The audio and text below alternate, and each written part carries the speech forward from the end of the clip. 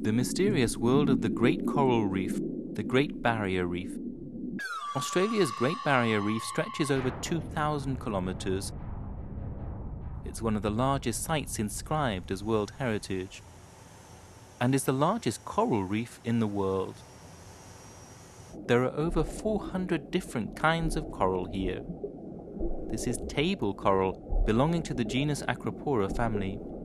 This flower-like coral is Echinopora lamellosa.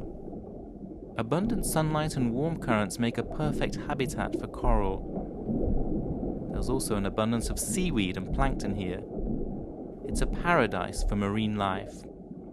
This is a hawksbill turtle. The species has been overexploited for its shell and is in danger of extinction. The green turtles here are mating some 70,000 sea turtles gather here during their mating season. The coral seabed suddenly ends about 300 kilometers offshore. The ocean floor drops right down for 1,000 meters. That has contributed significantly to the growth of this great coral reef. Small shrimp and plankton are pushed up to the surface as the strong current of water running along the ocean bed hits the cliff. Though coral may resemble plants, they are marine organisms that feed on small sea creatures. Polyps stick out from small holes on the coral surface. Coral use tentacles on their polyps to eat. It's an evening in November, which is early summer in Australia. The coral are starting to spawn. All the corals spawn together once a year. These pink particles are known as bundles.